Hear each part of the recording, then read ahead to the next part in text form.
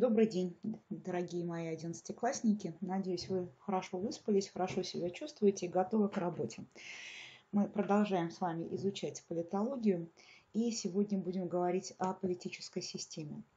Тема эта немножечко абстрактная, поэтому кажется сложной. На самом деле все просто, да, и э, я призываю вас сейчас внимательно послушать, внимательно посмотреть, а, посмотреть параграф вашего учебника, да, и вот увидите, в общем-то, все получится и все будет понятно. И на самом деле не так много вопросов нужно рассмотреть сегодня. Во-первых, это структуру и функции политической системы, и посмотрим мы с вами на государство в политической системе. Ну что, давайте начнем. Что мы называем политической системой? А, мы называем а, политической системой, организованную на единой э, нормативно-ценностной основе совокупность взаимодействий политических субъектов, связанных с осуществлением а, власти и социальным управлением и отношений между ними, посредством которых реализуется политическая власть. Есть и другие трактовки есть, например, вот такая, но она такая довольно-таки купированная, да, и сводит политическую систему фактически к просто к социальным институтам. Между тем, давайте первую трактовку еще раз посмотрим, что имеется в виду. Это на самом деле осуществление государственной власти, осуществление политической власти. Кто осуществляет политическую власть? Политические субъекты. Это люди, это какие-то политические институты, общности. Да?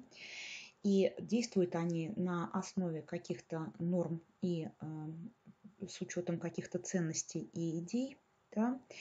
Э, действуют с какой целью? С целью управления обществом. Да? И э, при этом они взаимодействуют между собой. И таким образом образуется целая, в общем-то, довольно-таки стройная система да, и норм, и институтов, и э, каких-то каналов общения между политическими институтами и обществом, благодаря чему, в общем-то, функционирует политическая сфера.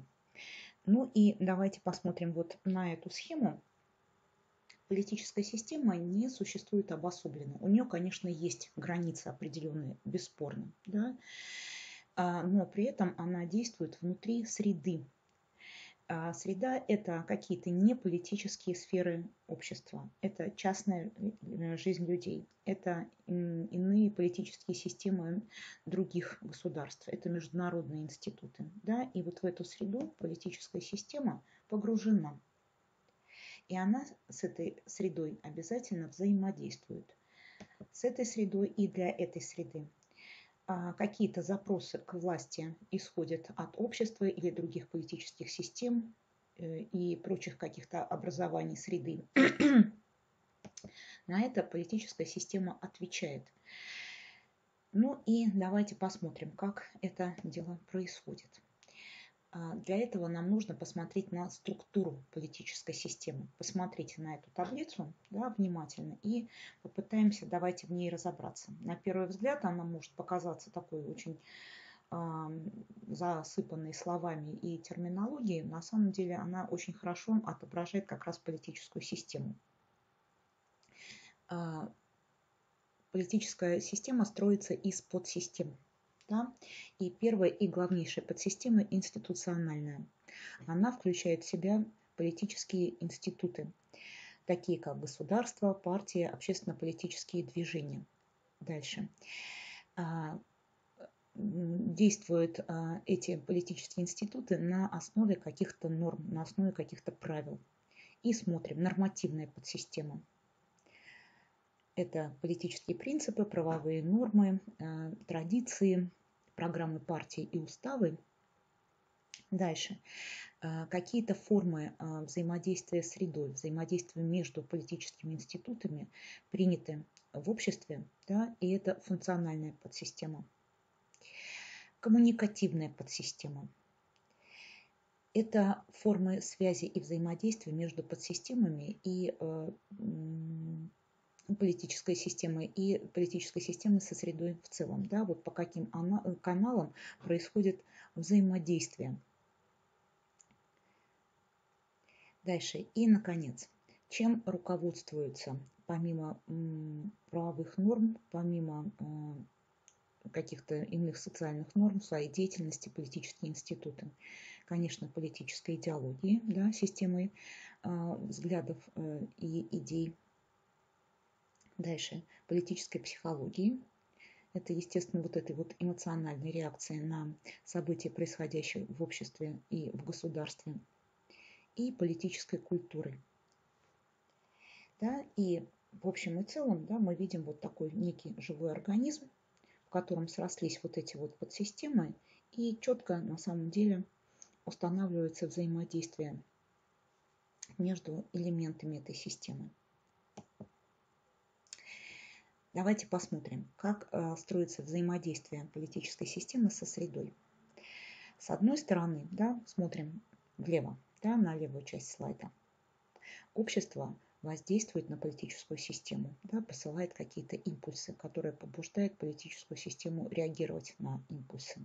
Да, чем-то мы недовольны, чего-то не хватает, что-то предлагаем изменить, даем об этом знать институтам политической системы через каналы общения, да, и политическая система на это как-то реагирует. Дальше, с другой стороны, смотрим правую часть слайда. А, политическая система воздействует на общество. Да? А, какие-то решения принимает и осуществляет меры по притворению этих решений в жизнь. Ну, давайте посмотрим на эту схему. И по большому счету мне очень нравится тот пример, который приводится в вашем параграфе в учебнике относительно функционирования вот этой самой политической системы, да, всех ее Э, подсистемы связи между ними и, собственно, взаимодействие политической системы э, с внешней средой. У вас приводится пример относительно реформы образования в конце 20 века в нашей стране. Да? В обществе, э, в общем-то, назрела проблема необходимости проведения реформы. И если речь идет об обществе, это внешняя для политической системы среда. Да? Итак, в обществе обсуждается необходимость проведения реформ, участвуют в обсуждении и а, педагоги, участвуют общественные деятели, создаются объединения. А, и далее смотрим. По, а, смотрим мы с вами на нижнюю часть вот этой схемы, информационно-коммуникативная подсистема, здесь она названа. Начинает действовать коммуникативная подсистема, потому что через определенного рода каналы связи запрос от общества идет в политическую систему, в политические институты. Нам нужно реформировать школу, нам нужно реформировать систему образования. Далее, политические институты а, начинают взаимодействовать между собой. И опять же смотрим на коммуникативную подсистему, да, в том числе. Дальше. Также обсуждаются возможности изменения образования в стране, что необходимо для страны, смотрим в левую часть культурно-идеологической подсистемы. Да? И а, различные партии, различные общественные политические объединения предлагают свои решения. Да? И посмотрите, стрелочки, в общем-то, переходят в разных направлениях. В конечном счете а, законодательные органы власти принимают решения относительно того, как должна в конечном счете выглядеть школа, как должна выглядеть система образования. И здесь включается нормативная подсистема, издаются соответствующие законы, да, которые уже в виде вот этих вот самых политических решений возвращаются во внешнюю среду, возвращаются в общество. Да, посмотрите, по большому счету политическая система и вот эта вот схема, она отображает да, а, а, порядок действия власти, порядок принятия реализации политических решений, порядок взаимодействия а, политических организаций с обществом. Теперь, какие функции выполняет политическая система? Смотрим внимательно. Во-первых, конечно, интегрирующая. Политическая система должна объединять общество да, для решения общих задач, согласовывать интересы различных групп населения и а, политических каких-то субъектов. Дальше смотрим. Регламентирующие. Да? Регулируем деятельность общества, управляем жизнью общества. Дальше. Распределительные. Распределение духовных и материальных ресурсов в обществе. Дальше. Коммуникативное. Осуществление обмена информацией между, между различными элементами политической системы. Дальше. Стабилизирующее, обеспечение стабильности и безопасности общества. Наконец, контролирующее, контроль за выполнением решений и соблюдением норм. Да, посмотрите, все, в общем-то, относится к политической власти. А политическая система, в общем-то, дает нам представление о том, как политическая власть функционирует, как она осуществляется. Дальше. Типология политических систем. Конечно, политические системы будут разные, и разные э, виды э, классификации мы сейчас с вами посмотрим. Опять-таки, главное основное отличие – это критерий классификации. Первый критерий мы с вами берем – политический режим. В зависимости от политического режима вспоминаем сразу схему, да, вспоминаем структуру политической системы – у нас складывается тоталитарная, авторитарная или демократическая политическая система. Да, какие будут политические институты, как они будут контактировать между собой, какие законы будут издавать, как они будут а, общаться с обществом. Да, то есть буквально каждая подсистема перестраивается под политический режим. Тоталитарный, авторитарный или демократический. Дальше. Следующее. От характера взаимодействия со средой. А, может быть закрытая политическая система или открытая. Если мы говорим с вами о демократическом обществе, да, когда политическая система чувствует импульсы, исходящие от общества, и отвечает на них, да, мы говорим об открытой системе. И наоборот, когда, в общем-то, только э, решение и контроль за исполнением решений, решений исходят от политической системы, а общество среда, в общем-то, никак не воздействует, никак не пробивается к политической системе. Мы говорим о закрытой политической системе. Далее. Конечно, по классовому признаку. И тоже вспоминайте историю. Долгие, долгие годы мы изучали вместе с вами историю. Может быть рабовладельческая, феодальная, капиталистическая или коммунистическая. Политические системы по степени культурной дифференциации примитивная, традиционная или современная. Да? Ну, еще ряд а, типологий можно привести. Давайте на этих остановимся и дальше посмотрим. А дальше наша с вами задача посмотреть на ключевой политический институт политической системы. Это государство, конечно. И э, сегодня я вам напоминаю буквально то, э, о чем мы с вами говорили в девятом классе тем эм, мальчикам и девочкам, которым предстоит сдавать обществознание, предстоит еще раз повторить все, что относится к государству по той конве, которую я сейчас вам а, продемонстрирую, да, посмотрите, пожалуйста, вспомните. А, уверена, что для вас это не сложно. Да? Мы с вами эту тему изучали в девятом классе, в одиннадцатом классе повторяем. Несколько подробнее мы с вами на демократическом режиме. В следующий раз остановимся и поговорим о демократии. А, но сегодня, в общем-то, фактически повторение того, что было раньше. Итак, а, государство – основной политический институт, который осуществляет управление общества, охрану его социально-экономической структуры, обеспечивает безопасность. Да? и откуда произошло государство, почему оно возникает. Вспоминайте теории происхождения государства. Так или иначе, мы э, изучали их и сталкивались с ними, когда изучали историю, да, потому что разные поводы для образования государства в разных государствах мы с вами видели – и в девятом классе в курсе обществознания мы эти теории рассматривали, поэтому сейчас просто напоминаем, да, вспоминаем их. Итак, теологическая. Да, а, сторонники этой теории утверждают, что раз Бог создал человека, он создал общество, порядки и, ну, собственно, государство.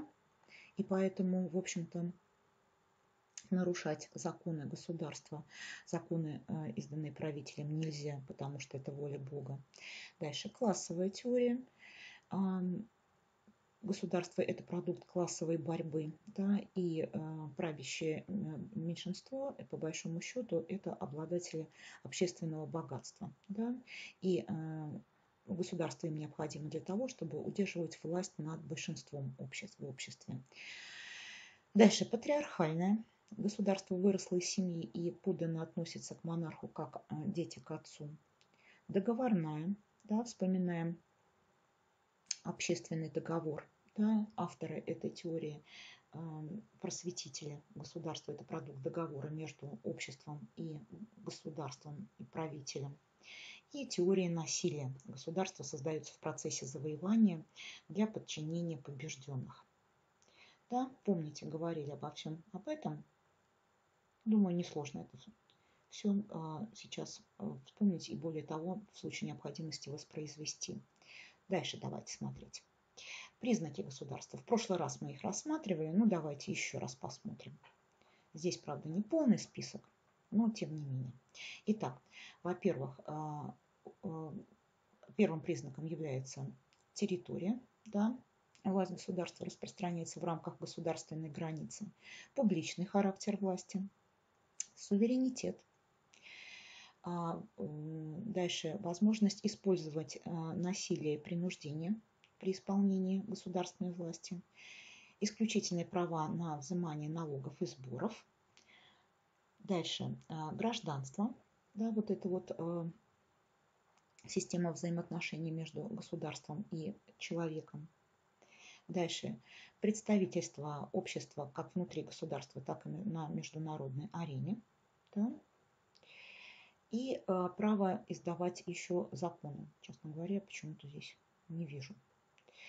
Какие функции выполняет государство? Функции есть внутренние, э, внутриполитические, внешнеполитические.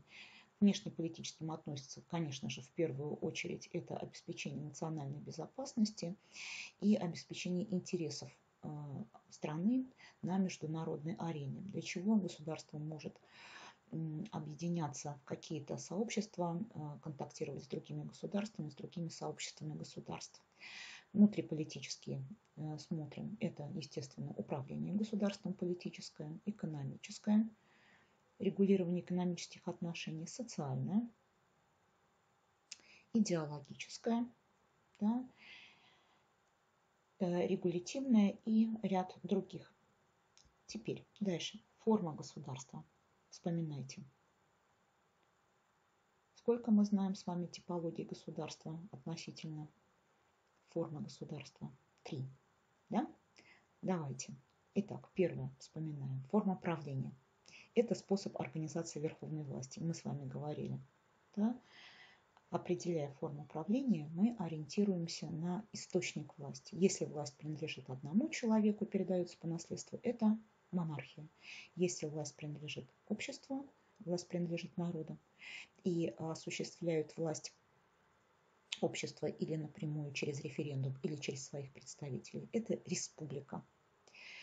Виды монархии абсолютные, да, вся полнота власти в руках у э, монарха. Дальше ограниченная, иначе ее еще называют конституционная или парламентская монархия, когда деятельность монарха ограничивается парламентом. Да, и дуалистическая, когда э, одновременно существует и э, довольно-таки обширная и сильная власть монарха, и в то же время в государстве работает парламент. Пример дуалистической монархии мы с вами видели, в общем-то, в России с 1905 по 1917 год. Республики. Мы выделяем президентскую, парламентскую, полупрезидентскую или смешанную республику, да, в зависимости от того, как государственная власть, верховная власть распределяется между президентом, парламентом и правительством. Да? И если а,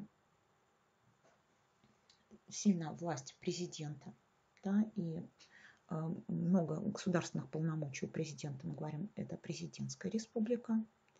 Далее, если мы говорим о сильном парламенте и о том, что парламент формирует э, правительство и правительство подотчетно парламенту, и по большому счету э, в общем-то, представляет страну не президент, а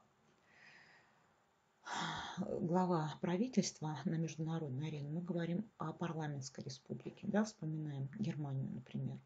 И, наконец, если равномерно распределяются полномочия, государственные полномочия между президентом и парламентом, да, мы говорим о полупрезидентской республике. Далее форма административно-территориального устройства или просто форму устройства государства. По-разному может быть это сформулировано. Будьте внимательны те, кто сдает ЕГЭ. Это распределение государственной власти на территории страны, отношения между центральной и местной властью. И по этому критерию мы выделяем унитарные государства, да, территория государства единая и неделимая, и а, власть осуществляется из центра и, в общем-то, на местах управляют а, представители центральной власти. Дальше. Федерация. Государство состоит из относительно независимых территорий.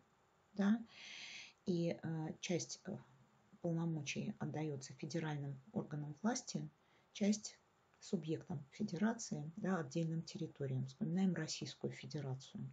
И, наконец, конфедерация, объединение независимых государств какой-то целью. И про особенности конфедерации мы с вами тоже упоминали, что конфедерация это неустойчивая да, вот, э, форма административно-территориального устройства, потому что конфедерация, как правило, или распадается в конечном счете, или перерастает в федерацию.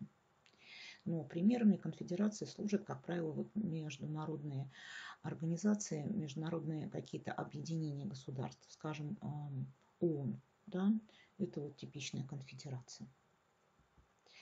Дальше. Политический режим. Это совокупность методов и способов осуществления государственной власти в стране. Да? И мы различаем недемократические режимы, тоталитарные и авторитарные, и демократический. И большая просьба да, вспомнить особенности демократического, тоталитарного и авторитарного режимов. Да, и э, главный критерий, на который мы с вами обращаем внимание, да, чтобы проще было, это соотношение, в общем-то, государства и общества и удовлетворение э, государств, э, интересов государства и общества при том или ином политическом режиме. При недемократических режимах мы видим, что прежде всего политика осуществляется в интересах государства – да, и в интересах общества, в интересах человека политика осуществляется при демократических режимах. Ну и, э, простите, рано переключила слайд, тем не менее, с одной стороны, в общем-то, подводя итоги этой темы, с другой стороны, в общем-то, возвращаясь к теме сегодняшнего занятия политической системы, следует еще раз отметить, что государство – это ключевой институт политической системы общества. Да? Обратите внимание, в любом случае а, большинство, да, все политические институты в институциональной подсистеме а, замыкаются да, на государство. И э, большому счету все подсистемы функционируют прежде всего ориентируясь на государство. Почему? Потому что, опять-таки, те решения, которые в конечном счете а, отправляет э, политическая система во внешнюю среду, они будут исходить от государства. Да? И э, давайте мы с вами на сегодня будем заканчивать и посмотрим еще раз, что следует, э, что мы с вами посмотрели, во-первых. Надеюсь, вопросов здесь не осталось. И что следует дома выучить и повторить. Дома вы э, учите в вашем учебнике параграф 22. Задание по новому материалу вы найдете на платформе Я-класс. И я очень прошу своевременно эти задания выполнять, если вдруг возникнут какие-то проблемы, если вдруг возникнут какие-то вопросы или пожелания, внимание, дети, которые сдают ЕГЭ, я жду, я готова выслушать да, и готова с вами сотрудничать. Все, до новых встреч!